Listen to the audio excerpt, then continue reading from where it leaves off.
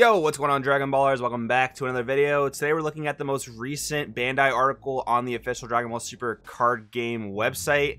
We're going to take a look and see if Bandai broke the meta here. Honest, in all honesty, this is a really cool thing that Bandai did here. They released an article where they talked about an Android 21 deck that they uh, built over at the dev team and it's kind of cool. Now, I did look at the deck list. Uh, so definitely some things that uh, that I would personally change. Maybe they should sign up for the coaching down the Patreon. If you guys are interested in that, go down in the description. Link is down there. But anyways, uh, yeah, I thought this was a really cool thing. Apparently, they've done articles like this back in like the set one days, if I'm not mistaken. But I started playing in set two, so uh, I had never seen an article like this before from Bandai. So I kind of want to just read through it, look at the list they showed for Android 21, because you guys know at this point I'm a big 21 fan. Uh, I have 21 lists both on the channel and the Patreon. I've done many, many videos talking about Android 21. I like the deck a lot. Kind of want to see what their take is on it and also talk about what I think about their list. It's actually a set 13 list because of some of the cards they include, so we'll look at that. But if you're new here, definitely subscribe and hit that bell so you never miss any Dragon Ball Super content. Already shout out the Patreon down in the description below if you want to check it out. Anyways, let's get started. So, announcement Dev Team Column Android 21 Reborn. Greetings, Dragon Ball Super card game fans. The Battle Evolution booster has finally been released, we, and we hope you've had a chance to get your hands on some of the cards from this incredible set. It's packed with powerful cards, including new additions to help power up popular themes from the past, which is a very cool thing about Evolution Booster. I like that sort of side set they've done. They basically steered away from draft boxes because while there are many, many good cards in draft boxes, some things with distribution and some of the other things about accessibility with draft boxes made the prices very very high. So if you've been out of the game for a while this is a perfect opportunity to jump back in. In this series of columns we're going to introduce three new decks while shining a spotlight on some of the new cards from battle evolution booster and uw4 which is basically set 13 this time we'll be looking at the android 21 deck which has received a radical new revamp. Here's the deck list. So they have the deck list here in the kind of same format they do the starter decks and stuff which is pretty cool. It's nice that it's all just like laid out here but they also have a visual picture of the deck list which will be a lot easier for us to take a look at. So right off the bat, you'll notice seven unisons. Now, personally, I think that's kind of a lot. I think seven unisons for any deck is a lot, especially when you're considering multicolor. Like, the thing about Dragon Ball Super, right? The combo step is so important that playing so many 10k combos plus seven unisons is quite a lot. Even in a blue deck where you have a lot of ways to manipulate energy, I still think that's definitely a lot. But uh, I was kind of thinking about the Majin Buu Unison in Android 21 because of the fact that on your turn 2 you have the ability to ramp with Energy Amplification Android 16, which obviously a great card that they're trying to include here. I think that the Buu Unison in set 13 is a really, really good Unison. I think it's held back a little bit by the fact that it doesn't gain markers, but it's still such a strong card, and you could play it on turn 3 thanks to your ramping ability. Now, what I was thinking, and I haven't necessarily put a set 13 deck list together yet, but what I was thinking was that if you're going to be playing the Buu Unison, odds are you're probably not going to play the 13 Unison as well. I think you got to kind of pick one or the other because seven Unisons, man, that's asking for a whole lot of clunk. That's asking for a lot of uncombable hands. And if your opponent's kind of just going all in on you and you don't have access to Bean, or maybe you don't have access to D Magic, you can be in a lot of trouble. So, with that in mind, I'd probably pick one or the other, not necessarily both. The Force Speedy Substitution, uh, I think it's a great card. I think it's a really good card, but I think the thing you'll notice with this list is it it uh, compromises a lot of ratios at like 3 and 2 and things like that to fit this card, and while it is a starter card, you're not really allowed to have starter cards in multicolor decks. Like, you know, turn one, you start by charging a blue green, right? You start by charging a multicolor. And then turn two, you almost always want to go into energy amplification. So when are you playing speed substitution? Maybe on turn three, maybe on turn four. Now, I guess you could charge a blue and then play substitution on turn one and then use your end of turn effect to put a blue green energy down. But I think there's some cards in the deck that you're not playing that, uh, for me at least, make it a little bit off. So, anyways, super combo, totally agree with it. Three God Sealing, totally like it. 21 Bad Omen, I kind of think should be a 4 of because I think you really do want to charge it on most turn ones, especially with four copies of the Super 17 Checkland. I think that's really just direction you want to go. And then three Beautiful Scientists, I like it. I personally play two in my list because uh, I, I play the Arrival 17, or 16 rather, the uh, Steadfast Ally, not the one they're playing in this list. I do like that card a lot, the 6 drop 17 they're playing in this list, but uh, I personally don't play it because yeah, it does trip a card out of their hand, but I'd rather get the other 17, which brings Beautiful Scientist out from the deck. So I, on my opponent's turn, I can arrive, ramp, pop a battle card, and have a blocker all in that same turn. And that seems to me like a really insane defensive play. And then when you start swinging with Steadfast Ally, you start taking cards from their hands. So I think it's just a little bit better than Steadfast Comeback, but I do kind of like the fact that it's only a 2 energy arrival, which does help you save on the uh, on the energy there. Two copies of 17 and 18, definitely agree with that. I play the same number of copies. And then for Android 18, I can totally see the argument for this card being a 4 of. It's an insanely good card. It does require you to have Unison, which they play 7, so that makes a lot of sense.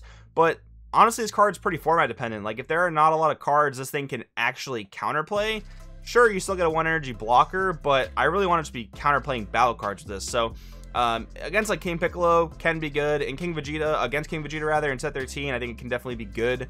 But uh, you have to kind of look at all the other decks in the format. Like Dark Broly, this is not going to do much against, and they're also not playing SS2 Trunks Heroic Prospect, which is a little bit, uh, you know, causes me to question just a little bit. Definitely a bit curious about that. But yeah, I don't necessarily think this is an automatic four of unless the format kind of calls for it. 3 Bean in 3D Magic, um, I don't know why you wouldn't play 4D Magic. That's just my thing. I think you just totally chop Absolute Release Ball. I think that's a side deck card at best, personally. I think you go 4D Magic if you're not playing Restoration. And that's kind of one of the the uh, conflicts I've had with Building 21 is playing D Magic and or Restoration, finding ratios to to fit both, or just playing one or the other. It's been a little bit tough. And then I can totally see 3 Bean in a blue deck, but I think in blue green where you have so many 10k combos, I kind of think that 4 Bean is almost mandatory, as where in other blue decks, 4 Bean is not really mandatory, but it's definitely very good. I do like the, the Heroine's Lineage SCR pick here, though. I kind of just like how it's pointing at a you know, budget SCR option for a deck like this. I do kind of like that a lot. Of course, Baby Hatchiyack's probably better, but we'll continue with the article now that we've kind of looked over the deck list because Bandai does kind of address that. So we have uh, content, Android 21 deck concept, deck overview, deck go deck goals, early game, mid game, counterplay considerations, synergistic cards, and then closing. So 21 in concept. This is a control deck that uses Android 21 scheme in the early game to create clone tokens, which help fuels draw and energy reuse. It pairs with blue-green ramp cards, and its ability to play powerful high-cost cards is one of the greatest assets. Yeah, I mean, they pretty much hit the nail on the head, which is cool because they designed the cards, right? So they should definitely know how those things work. Deck goals. This is a dynamic deck that ramps energy to play powerful and expensive cards. Android 1718 Siblings Revived from the Battle Evolution Booster is a devastating finisher that allows you to place two threats from your opponent's hand in their energy. Once it hits a table, victory is within sight. Yeah, I do I do definitely think it's a really solid boss monster. A really great card they printed to replace Violent Predator for sure. Then we have Hell's Ultimate Weapon Super 17 as another great finisher. Is you can get three 21 Bad Omens in your energy. Dropping Hell's Ultimate Weapon will force your opponent to lose three life as go into the red zone with four 25k battle cards. Little typo there. It also negates energy exhaust, so play it in your energy early and often. Yeah, so slight deck building thing I think they kind of thought about was like, you know, Super 17 can only play three androids from the energy, so why would you play more than three copies of 21, right? Well, you play more than three copies of 21 because you want to see it early and often, right? And just like they're saying with charging Hell's Ultimate Weapon, you want to charge 21s as much as you can. And, and yeah, they play speedy substitution to help get it in the energy, right? But uh, Beautiful Scientist can also do it. So, um, and you also can obviously manually charge it, so that works as well. Early game, we have Energy Amplification 816 as a key ramp card that effectively serves as the deck's engine. It has the lowest energy cost of any ramp card in the deck, so it's worth playing copies well into the mid game. Battle Evolution Booster includes Super Android 13 Never-Ending Bloodlust, a powerful unison card that you can play without spending energy. Lock down the clone tokens you send to your opponent, build up your markers, and create a defensive wall to safeguard your other strategies. And in the mid game, one of the deck's biggest selling points is its ability to jump the energy curve, playing major threats faster than other decks can handle. Majin Buu Assault, the Agents of Destruction from set 13, draws cards, eliminates your opponent's battle cards, and even has Blocker. Play Android 16 Energy Amplification on turn 2, and you can play this card on turn 3, giving your defenses a massive boost for the mid game. Totally 100% agree with that. Really, really cool strategy. But I think, you know, if you had played your your 13 unison on like turn 1 or 2, sacrificing that to play Buu is going to be an immediate neg 1, so I think you would just play one or the other and not necessarily both. If you don't have Majin Buu Assault of Agents of Destruction in hand, try playing 21 Beautiful Scientists to speed up your ramp instead. Besides her plus skill, she also has Blocker and a skill to remove your opponent's battle cards, making her an excellent defensive option. Totally agree. Counterplay considerations. Super Android 13 Never-Ending Bloodlust, strong defense. It makes it easier to use unison conditional counterplay cards like Android 18 Let the Battle Begin and God Sealing Technique Trunks. Super Bandai 13 Neverending Bloodlust in particular is a one cost blocker that can easily strengthen your defense. I think I kind of made a, another typo there. From there, you can use your leader skill to switch your energy to active mode and go on the offensive. Uh, Absolute Release Ball can also be played energy free by adding card from light to hand, giving you a great way to keep your opponent's battle cards from hitting the board. Again, personally, I think Absolute Release Ball is much more of a side deck card. Can be good if you're going up against something like Toppo uh, in red or other counter attacks that are kind of like that. And then synergistic cards. These are cards I talk about that aren't in the list, but they kind of just, you know, discuss them. A key card from Battle Evolution Booster helps you play 21 cards play 21 Bad Omen to wipe your opponent's life and battle cards, or play Beautiful Scientist to remove your opponent's battle cards while ramping. Have a variety of options to handle any situation is one of the deck's core strengths. Android 16 is no slouch himself, packing both a discard effect and double strike. Yeah, I like this card in the main deck a lot. A little bit surprised they opted to not main deck it, but I do think it's pretty cool. 21 Scholarly Gambit. This barrier-backed blocker helps you remove unsightly clone tokens. You can also trade her in to prevent an opponent's boss tier battle card from entering play. Playing her at the start of your turn gives you maximum mileage from 21 Scheme, which prevents players from attacking after battle cards enter play. I think you actually need a card of this in your main deck, right? You need this, which is more expensive than the other option, which is uh, this, this green two-drop Piccolo. I forget the name of it, but I think you need either this or that card because on the turn you play your 17, 18 siblings, you need to somehow get around your own effect of uh, the field card. You need to somehow get around the summoning sickness of the field card. So without a card like this, that's going to be pretty hard to do.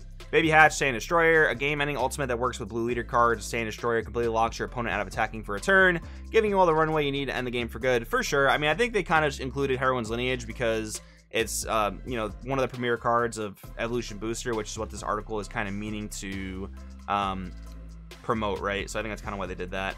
In closing, well, what do you think? The, the cards we introduced today are just tip of the iceberg. There are tons of synergistic new cards in Battle Evolution Booster, including the ramp-based Android 16 leader card, so be sure to check out the card list. Stay tuned for the next article on April 30th, where we'll be taking a look at another batch of cards from Evo Booster and UW4. See you then, Dragon Ball Super Card Game Team. So, overall, I mean, I think this is a pretty fun video to do. Like, we looked at how Bandai goes about deck building, right? And don't get me wrong, like, there are definitely some things here I would change. It's definitely a solid starting point for 21, right? Um, but I mean, we're not expecting them to be the most competitive players in the game, right? That's kind of what the uh, the players outside the dev team are for. Um, but I think this is a cool video to do, just kind of get a look at what Bandai's thinking. I always like when they post articles like this, so we can kind of get inside their heads. But anyways, guys, I want to know in the comments below what you think about this video. Should I do another one when they make the uh, article on April 30th? Let me know.